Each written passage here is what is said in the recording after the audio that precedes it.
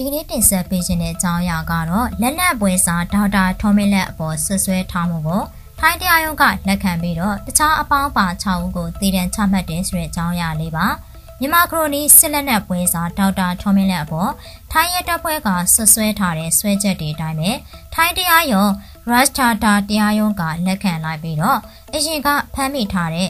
အခြားအပေါင်းပါ6ဦးကိုလည်း3နှစ်ကြာစုံစမ်းစစ်ဆေးပြီးတဲ့နောက်ဇန်နဝါရီလ23ရက်နေ့ကတည်တံချမှတ်လိုက်တဲ့အကြောင်းထိုင်းရေးရကျွမ်းကျင်သူစတီဗင်ဆန်ယူကရေးသားပါရယ်စစ်တပ်ကောင်ဆောင်ဗိုလ်ချုပ်မှုကြီးမင်းအောင်လှိုင်ရဲ့မိသားစုနဲ့ဆက်နွယ်မှုရှိတဲ့အသက်53နှစ်အရွယ်ဦးထွန်းမင်းလက်ကိုပြီးခဲ့တဲ့စက်တင်ဘာ18ရက်ကဘန်ကောက်မြို့မှာဖမ်းဆီးလိုက်တာဖြစ်ပြီးတော့သူ့ကိုအမြင့်ဆုံးပြစ်ဒဏ်ထောင်ဒဏ်15နှစ်ကနေတေရန်အထိအပြစ်ပေးနိုင်တဲ့မူရဲ့စီဝါရောင်းဝယ်မှု ငွေကြေးခွန်အားချမှုနဲ့နိုင်ငံဖြတ်ကျော်ရာဇဝတ်မှုတွေနဲ့ဒီဇင်ဘာ23ရက်နေ့ကဆွဲချက်တင်ခံခဲ့ရတာဖြစ်ပါတယ်။ဒေါက်တာထွန်းမင်းလက်တို့အုပ်စုကိုလည်းရဲတွေတင်ထားတဲ့ဆွဲချက်အတိုင်းပဲတရားရုံးကလက်ခံအတည်ပြုလိုက်ပြီးဖြစ်တယ်လို့စစ်တပ်ခန့်အထက်လွှတ်တော်အမတ်ဥပကိနဲ့ပါဆက်နွယ်မှုရှိကြောင်းရဲတွေမှာအချက်လက်အများကြီးရရှိထားပြီးဖြစ်တယ်လို့၎င်းကရှင်းတာပါတယ်။ ဒေါက်တာထွန်းမင်းလက်နဲ့အတူထိုင်းအထက်လွှတ်တော်အမတ်ရဲ့တမတ်ဖြစ်သူဟာလည်းဆွဲချက်အတင်ခံထားရပြီးတော့စုစုပေါင်းဆွဲချက်အတင်ခံရသူ၈ဦးမှာနှစ်ဦးကတော့မြန်မာပြည်ဘက်ထွက်ပြေးလွတ်မြောက်သွားတဲ့အတွက်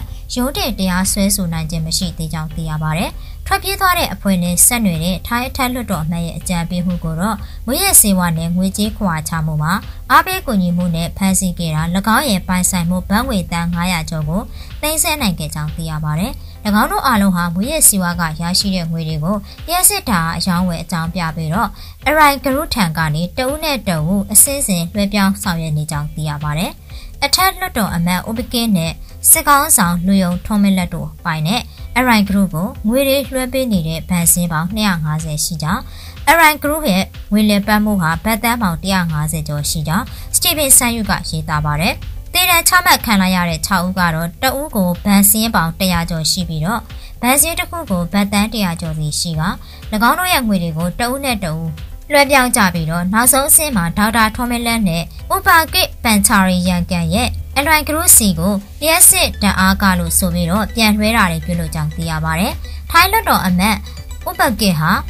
အလွိုင်းကာစီနိုလုပ်ငန်းကိုတည်ထောင်သူဖြစ်ပြီးတော့အဲ့ဒီလုပ်ငန်းကိုဒေါက်တာထုံးမင်းလန်းနဲ့အတူချုပ်ကင်ထားသူဖြစ်ကြောင်း Justice for မြန်မာရဲ့ဇန်နဝါရီလ17ရက်နေ့ထုတ်ပြန်ချက်မှာဖော်ပြပါဗျ။အလွိုင်းကာစီနိုလုပ်ငန်းကတော့ ဒေါက်တာထွန်းမင်းလက်ဒါရိုက်တာအဖြစ်တာဝန်ယူထားတဲ့ထိုင်းကုမ္ပဏီ Alloy Group PNE ပါတဲ့နေဆက်ဖြတ်ကျော်လျှက်စစ်တအားဝယ်ယူမှုကနေတဆင့်ထိုင်းနိုင်ငံငွေကြေးစနစ်တွေကိုတရားမဝင်ငွေကြေးတွေထည့်သွင်းနေတဲ့ငွေကြေးခွန်အားချမှုနဲ့ငွေရစေဝါရောင်းဝယ်မှုကွန်ရက်တစ်ခုရဲ့အစိတ်ပိုင်းဖြစ်ကြောင်း Justice for မြန်မာကထုတ်ပေါ်ပါတယ်။ထိုင်းလွှတ်တော်အမတ်ကတော့အလွိုင်မှာပါဝင်ထားတဲ့သူ့ရဲ့ရှယ်ယာတွေကိုဒါတာထွန်းမင်းလန်းနဲ့အတူဆွဲချက်တင်ခံရတဲ့၎င်းရဲ့တမတ်ထံကို2019ခုနှစ်ကလွှဲပြောင်းပေးအပ်ခဲ့ကြောင်းသိရပါတယ်။ တဆင့်ကန်လှုပ်ရှားတဲ့ဂျားကလူ6ယောက်ကိုတော့တည်တဲ့အထိပေးလိုက်တာကြောင့်ကြံနေသေးတဲ့ဒေါက်တာထွန်းမလက်တို့အုပ်စုအတွက်ကတော့ပြောစရာမရှိတော့ပါဘူးဒီတိုင်းဆိုရင်မြေကြီးကိုလက်နဲ့ရိုက်ရင်တော့လွဲကျင်လွဲသွားနိုင်ပေမဲ့သူတို့အတွက်ကတော့တည်တံကလွဲပြီးတခြားမဖြစ်နိုင်တော့ပါဘူးအားမရမိတာတခုကတော့စစ်တပ်ကခန့်ထားတဲ့အထက်လွှတ်တော်အမတ်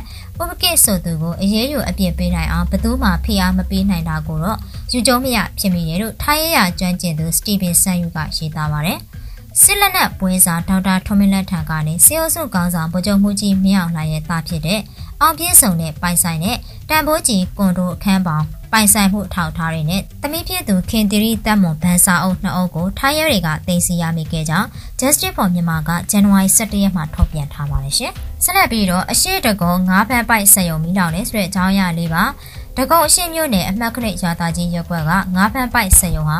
ဒီနေ့ဇန်နဝါရီလ26ရက်မနက်စောပိုင်းမှာမီးလောင်မှုဖြစ်ပွားခဲ့တာလို့သိရပါဗျ။ဒီနေ့မနက်3:45မိနစ်လောက်မှာမီးလောင်ကျွမ်းခဲ့ပြီးတော့မိသားတပ်ဖွဲ့တွေကတော့10မိနစ်ဝန်းကျင်ငြိမ့်သက်ခဲ့ရကထိခိုက်ဒဏ်ရာရရှိသူမရှိကြောင်းသိရပါဗျ။မီးလောင်မှုဖြစ်ပွားရတဲ့အကြောင်းရင်းနဲ့ပျက်စီးဆုံးရှုံးမှုတန်ဖိုးကိုတော့တွက်ချက်နေစေလို့ဆိုပါဗျ။ဆက်လက်ပြီးတော့မန်းလေးရန်ကုန်အစုံရထားပေါ်မှာခီးတဲ့တအူမူးမိလဲကြပြီးကွယ်လွန်သွားတယ်ဆိုတဲ့အကြောင်းအရာလေးပါ။ မန္တလေးရှန်ကုန်အမှတ်ချောင်အစုံရထားပေါ်မှာခီးတဲ့တအူကမိုးမိနေကြပြီးတော့ကွယ်လွန်ခဲ့တယ်လို့သိရပါဗျ။ပြီးခဲ့တဲ့ဇန်နဝါရီ24ရက်နေ့တဲ့ပိုင်းမှာတော့ရေတာရှိကုန်းကြီးပူရာကရထားပေါ်ကိုတက်လာတဲ့ခီးတဲ့ဦးမြင့်ဦးဟာအခုလိုမိုးမိနေကြပြီးတော့ကွယ်လွန်ခဲ့တာလို့သိရပါဗျ။အမျိုးသားဟာမိုးမိလဲသွားပြီးတဲ့နောက်တောင်ဝင်မြို့ပူရာအရောက်မှာလူမှုကွန်ရက်အသင်းတွေကဆေးရုံကိုပို့ဆောင်ပေးခဲ့တယ်လို့သိရပါဗျ။ အဆိုပါအမျိုးသားကွယ်လွန်ရတဲ့အကြောင်းရင်းကိုသိချာမသိရပဲနဲ့ကွယ်လွန်သူရဲ့ရုပ်လောင်းကိုတောင်ကိုစင်းရုံကရင်ခွဲရုံကိုပို့ဆောင်ထားတယ်လို့သိရပါတယ်။ဆက်လက်ပြီးတော့ Facebook အကောင့်ပြန်သုံးလို့ရတော့မှာဖြစ်တဲ့ Donald Trump အကြောင်းကိုတင်ဆက်ပေးကြပါမယ်။ American သမ္မတဟောင်း Donald Trump ရဲ့ Facebook နဲ့ Instagram အကောင့်တွေကို Facebook ရဲ့ကုမ္ပဏီဖြစ်တဲ့ Meta ကနေနှစ်နှစ်ကျော်ကြာအသုံးပြုခွင့်ပိတ်ထားရကနေပြန်လည်အသုံးပြုခွင့်ပေးတော့မှာဖြစ်တယ်လို့မနေ့ကကြေညာပါတယ်။ ပုံမှန်ဆိုရင်တော့ Meta ရဲ့လူမှုကွန်ရက်ပေါ်မှာပွင့်လင်းပြီးလူထုကိုတိုက်ရိုက်ချပြတဲ့ဒီမိုကရေစီနှီးကြတဲ့စကားစစ်ထိုးပွဲတွေအထူးသဖြင့်အမေရိကန်ရဲ့ဒီမိုကရက်တစ်လူအဖွဲ့အစည်းတွေအတွင်းကရွေးကောက်ပွဲဆိုင်ရာတွေကြားတဲ့ကိုဝင်ရောက်ဆက်ဖက်မှုတွေမလုပ်ချင်ပါဘူးလို့လည်း Facebook ရဲ့ကမ္ဘာ့ကျန်းမာရေးဌာနရဲ့ဥက္ကဋ္ဌဖြစ်သူ Neglet ကဆိုပါတယ်ပြည်သူတွေကတော့သူတို့ရဲ့နိုင်ငံရေးသမားတွေရဲ့ကောင်းတာဆိုတာမှတ်သမျှအကုန်သိတင်တာဖြစ်ပြီးဒါမှလည်းမဲပေးတဲ့အခါမှာမှန်ကန်တဲ့ရွေးချယ်မှုကိုပြုလုပ်နိုင်မှာဖြစ်တယ်လို့သူကပြောပါတယ် လွန်ခဲ့တဲ့နှစ်လအကြာကပဲဒေါ်နယ်ထရန့်ဟာသူ့အနေနဲ့လာမယ့်2024ရွေးကောက်ပွဲမှာပြန်လည်ရှင်ပြိုင်မှာဖြစ်တယ်လို့ပြောကြားခဲ့တာဖြစ်ပြီးတော့အခုလိုအချိန်မှာတော့ဒီလိုမျိုးသူ့ရဲ့အကောင့်တွေကိုပြန်ဖွင့်ပေးမယ်လို့ Facebook ဘက်ကကြေညာခဲ့တာဖြစ်ပါတယ်။သူ့ကိုထောက်ခံသူတွေအနေနဲ့လည်း Trump ရဲ့အကောင့်တရားဝင်ပိတ်ခံခဲ့ရတာကြောင့် online ပေါ်မှာမထင်မရှားလှုပ်ရှားနေကြရတာဖြစ်တယ်လို့ဆိုပါတယ်။ဒီလိုဖွင့်ပေးခဲ့တဲ့မတိုင်ခင်မှာပဲ Twitter ရဲ့ CEO Elon Musk အနေနဲ့ Donald Trump ရဲ့ Twitter အကောင့်ကိုပြန်ဖွင့်ပေးခဲ့တာဖြစ်ပြီး Trump ကတော့ပြန်လည်အသုံးပြုခြင်းမရှိသေးပါဘူး။သူဟာ Facebook နဲ့ဆက်ဆက်တဲ့လူမှုကွန်ရက်တွေကနေအကြမ်းဖက်မှုတွေလှုံ့ဆော်ခဲ့တာကြောင့်ဒီလိုအပိတ်ခံခဲ့ရတာလို့ဖြစ်ပါတယ်။ဆက်လက်ပြီးတော့အမှုပညာအလုပ်တွေလုပ်ချင်ပေမဲ့ဖခင်ကမလုပ်ခိုင်းဘူးလို့ပြောလာတဲ့ရီဖွေးဖြူရဲ့တူမလေးဆုလက်ရတနာအကြောင်းကိုတင်ဆက်ပေးကြပါမယ်။ ရေဝဲဖြူကတော့ဟာတာဗီဒီယိုများစွာကိုလူမှုကွန်ရက်ထက်မှအကောင်းဆုံးဖြောပြတင်ဆက်နိုင်ခဲ့တဲ့အတွက်ကြောင့်ပြည်သက်တရန်အားပေးမှုကိုခိုင်မာရရှိထားတဲ့စင်ဒီတူဖြစ်ပါတယ်။အခုတစ်ခါမှဆိုရင်တော့ရေပွေးဖြူရဲ့တူမလေးဆုလိုက်ရတနာက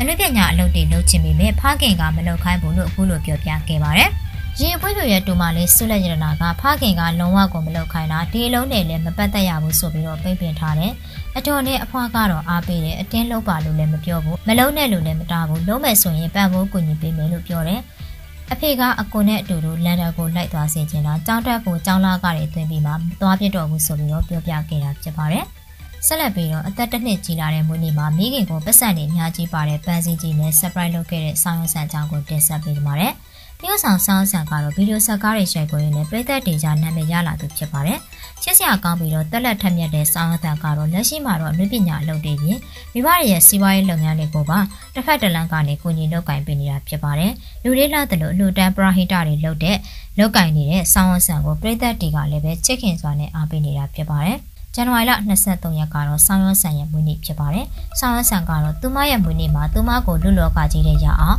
မွေးဖွားပေးခဲ့တဲ့မိခင်ကို ပတ်စံပန်းစင်းကြီးနဲ့ surprise ပြန်လုပ်ခဲ့တာတွေ့ရပါတယ်။ဆောင်းရွန်းဆန်ကတော့ဆောင်းရွန်းမွေးနေ့အမှတ်တရအနေနဲ့မိခင်ကိုပန်းစင်းကြီးနဲ့ surprise တိုက်ခဲ့တယ်။အဖေကတော့ဘောစီဆိုတော့ဆိုပြီးတော့သူမတို့ရဲ့မိသားစုရဲ့ပုံတွေကိုဖော်ပြလာတာဖြစ်ပါတယ်။ဆောင်းဆန်ကတော့မွေးနေ့ကိုမိသားစုတွေနဲ့အတူတူပျော်ပျော်ရွှင်ရွှင်ဖြတ်တန်းရင်အချိန်ကြီးကိုကုံဆုံးနေတာဖြစ်ပါတယ်။ ဆက်လက်ပြီးတော့လူ9ယောက်လိုက်ပါလာတဲ့ဆက်လီတိတ်မှောက်ပြီးကလေးငယ်တအုပ်ကွယ်လုံးကတအုပ်ပြောင်ဆုံးနေတဲ့ရွှေအကြောင်းအရာလေးပါ။ AR တိုင်းမဥပင်ခရိုင်ညောင်တော်မြို့နယ်ပသိမ်ရက်ကိုအမြန်လမ်းမကြီးပေးမှရှိတဲ့အမှတ်3တူမြောက်မှာဇန်နဝါရီလ26ရက်ဒီနေ့မနက်9:00နာရီခွဲခန့်လောက်ကဆက်လီတိတ်မှောက်မှုဖြစ်ပွားခဲ့ကြောင်းမြန်မာနိုင်ငံမိသက်တပ်ဖွဲ့ထံကသိရပါဗျ။ တိမ်မမှုဖြစ်ပွားခဲ့တဲ့ဆက်လီပေါ်မှာအမျိုးသား9ဦးနဲ့အမျိုးသမီး4ဦးစုစုပေါင်း9ဦးပါရှိပြီးတော့လောလောဆယ်မိန်းကလေးငယ်တအုပ်ကိုအသက်ဆုံးလျက်ပြန်တွေ့ခဲ့ပြီးတော့ယောက်ျားလေးတအုပ်ပျောက်ဆုံးနေတဲ့အတွက်ရှာဖွေကယ်ဆယ်မှုတွေဆက်လက်လှုံ့ဆော်နေကြောင်းသိရပါဗျ။ အဆိုပါဆက်လေတိတ်မှောက်တဲ့နေရာကိုစမ်လောက်နေမြေမိသက်စကန်ကရှာဖွေကယ်ဆယ်ရေးတပ်ဖွဲ့တွေကကယ်ဆယ်ရေးလုပ်ငန်းတွေဆောင်ရွက်ရမှာဒီနေ့မွန်လဲ12နာရီခွဲအချိန်မှာမိကလေးငယ်တဦးရဲ့ရုပ်လောင်းကိုပြန်လည်တွေ့ရှိခဲ့ပြီးစမ်လောက်ပြည်သူစေယုံကိုပို့ဆောင်ပေးခဲ့ကြောင်းမြစ်တာရှင်လူမှုကွန်ရက်အသင်းထံကသိရပါဗျ။ဆက်လက်ပြီးတော့နှစ်နှစ်ပြည့်သွားတဲ့အာကြီးတို့ညီကို၃ယောက်အတွက်မွေးနေ့ပွဲလေးပြုလုပ်ပေးခဲ့တဲ့ခိုင်နှင်းဝေချောင်းကိုတင်ဆက်ပေးကြပါမယ်။ ခိုင်နှင်းဝေကတော့သူမရဲ့လူမှုကွန်ရက်ဆာမနာကနေဂေဟာမှာမွေးနေ့ပွဲတစ်ခုကျင်းပခဲ့တဲ့အကြောင်းဝေမျှခဲ့ပါတယ်။မွေးနေ့ပွဲကတော့အာကြီးပေါပေါနဲ့လွတ်လပ်မောင်တို့၃ယောက်ရဲ့မွေးနေ့ဖြစ်ပါတယ်။အာကြီးပေါပေါနဲ့လွတ်လပ်မောင်တို့ညီကို၃ယောက်ကတော့အသက်၂နှစ်ပြည့်သွားခဲ့တာဖြစ်ပြီးခိုင်နှင်းဝေကတော့ကလေး၃ယောက်အတွက်မွေးနေ့ပွဲကိုအတူတူကျင်းပခဲ့တာဖြစ်ပါတယ်။ အာကြီးတို့ညီကိုတွေကိုကျင်းရတဲ့ပြည်သက်တွေအတွက်